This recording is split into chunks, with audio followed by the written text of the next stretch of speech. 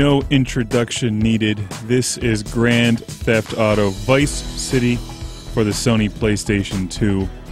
This is easily one of the best games ever released on the PlayStation 2, if not the very best game, because GTA Vice City has everything right. It's fun, it's outrageous, it's got a great story, an incredible soundtrack with Flock of Seagulls and The Cult and Gary Numan. It captures the excitement and drama of Scarface and the incredible pop culture style of Miami Vice.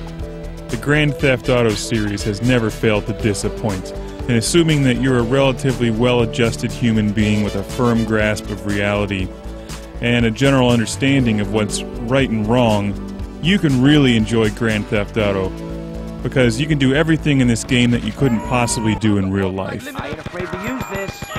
And I think that's the best part of it. Yeah, I enjoyed this story. I won this game years ago, so I don't remember all the details of it. It's basically Scarface, uh, with a whole bunch of other movie references thrown in there.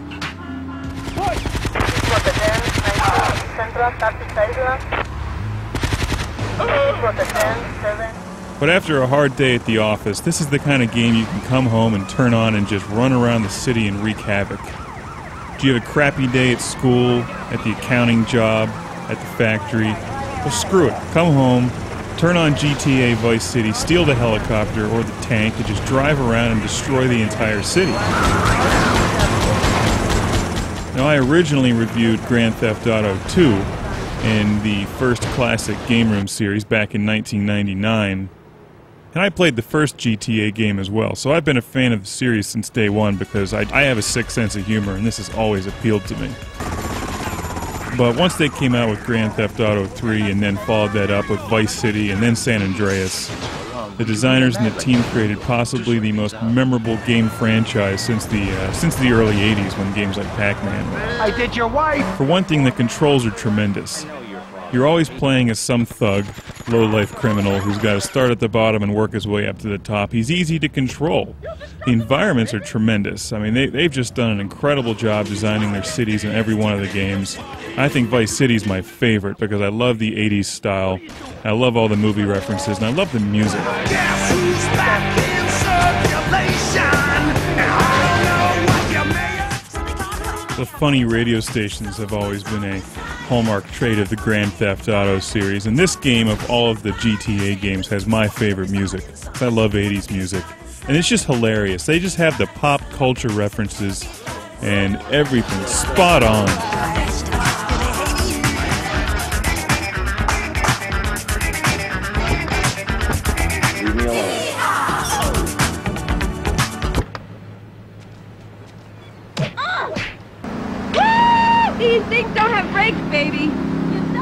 Game has a tremendous sense of humor in every part of it. From the sound effects to the music choices and the great 80s pop music and the really early rap.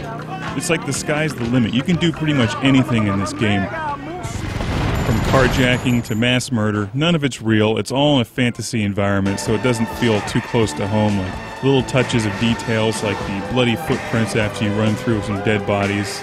There's not much else I can say. Odds are you've probably played this game because it's just so much damn fun. But in this brilliant fantasy alternate reality that Rockstar Games has created, the sky's the limit to the amount of mayhem that you can cause. And I can't wait to see what these guys come out with in the future. The game gives you the option of unlimited replay value. You can just run around the city and destroy everything, get into an all out war with the police, steal helicopters, just drive around and run over people and break things. And it's, it's just a great stress reliever. Come here, man. I see I'm to you like this. See, a rap attack DJs jamming in the street. MCs rapping to the people downstairs say they can't sleep. Cause the people upstairs are stomping their feet. Not like they're starting to riot. They'll call the cops.